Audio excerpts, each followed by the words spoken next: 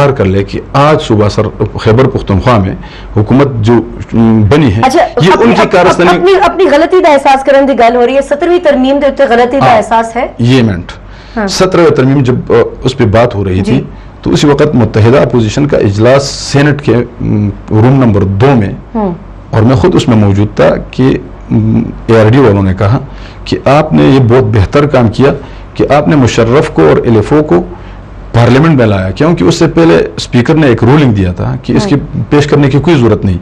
फिर हमारा उनके साथ एक मुआहदा हो रहा था और मुआहदा हुआ और इस वक्त इसम ज़फ़र साहब का एक किताब भी पार्लियामेंट के अंदर पेश हुआ।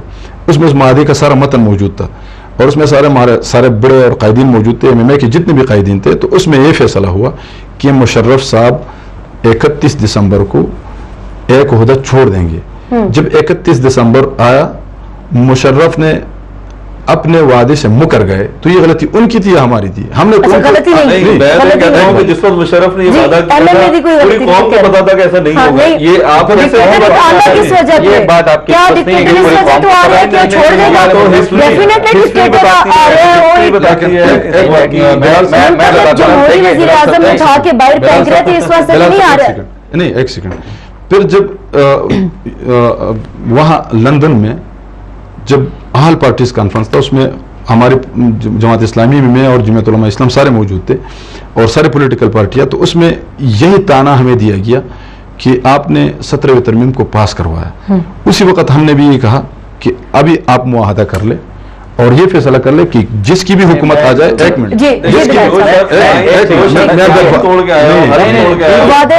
है, है, है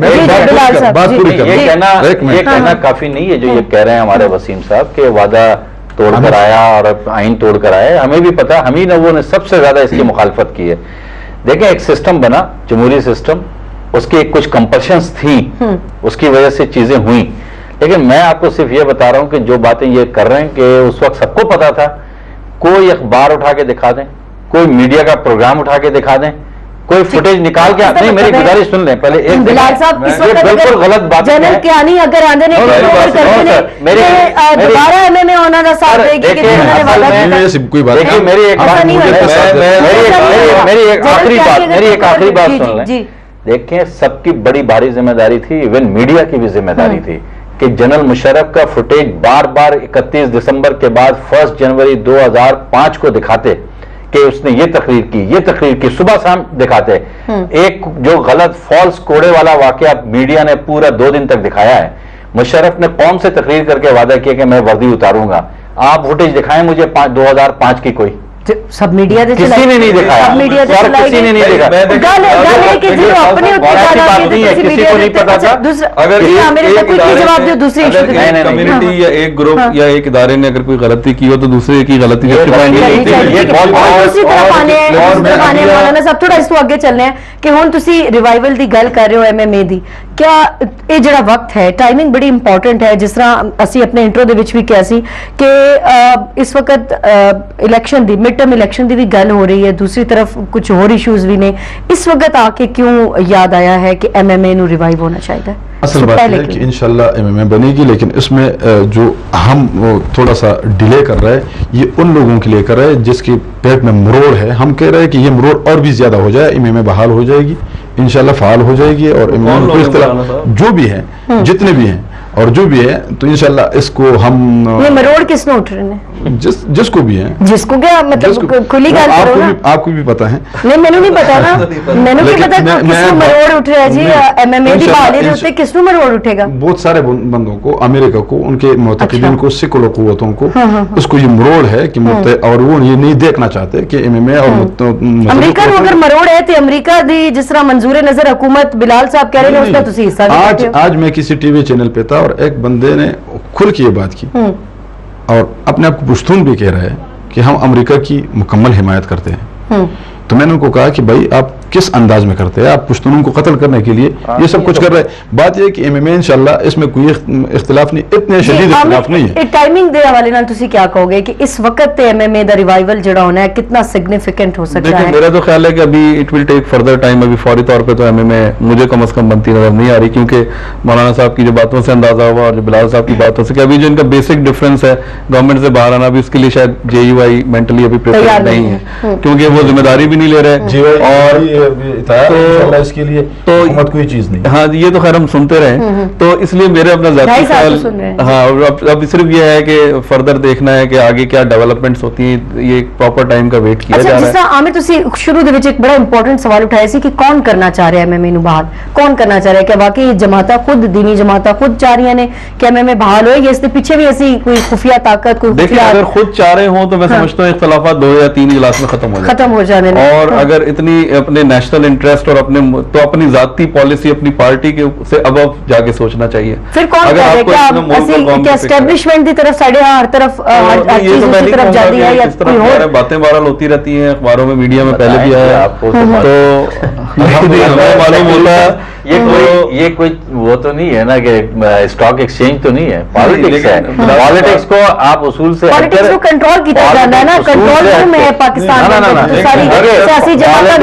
कंट्रोल अलहमदुल्ला दीनी टॉयलेट कंट्रोल कोई कंट्रोल रूम नहीं है नहीं अच्छा नहीं है तो फिर इतिहाद हो जाना चाहिए फिर ये जो नेशनल इंटरेस्ट उसूली सियासत की बात कर रहे हैं ना इस वक्त मुझे बताएं जितनी सियासी जमातें हैं वो सब उसूली सियासत कर रही हैं सारी जमात कहती है मैं कह रहा हूं सारी जमात कहती है ਇਹ ਤਾਂ ਮੈਂ ਕਹਿ ਰਹਾ ਹਾਂ ਐਮਐਮਏ ਦੀ ਬਹਾਲੀ ਦੇ ਵਿੱਚ ਲੱਗੇਗਾ ਔਰ ਪਾਕਿਸਤਾਨ ਦੀ ਜਿਹੜੀ ਅੰਦਰੂਨੀ ਇਸ ਵਕਤ ਸਿਆਸਤ ਹੈ ਉਸ ਦੇ ਉੱਤੇ ਕੀ ਅਸਰਾਂ ਤੁਸੀਂ ਦੇਖਦੇ ਹੋ ਅਗਰ ਬਹਾਲ ਹੁੰਦੀ ਹੈ ਤਾਂ देखिए बात सिर्फ़ बेहतरी आएगी?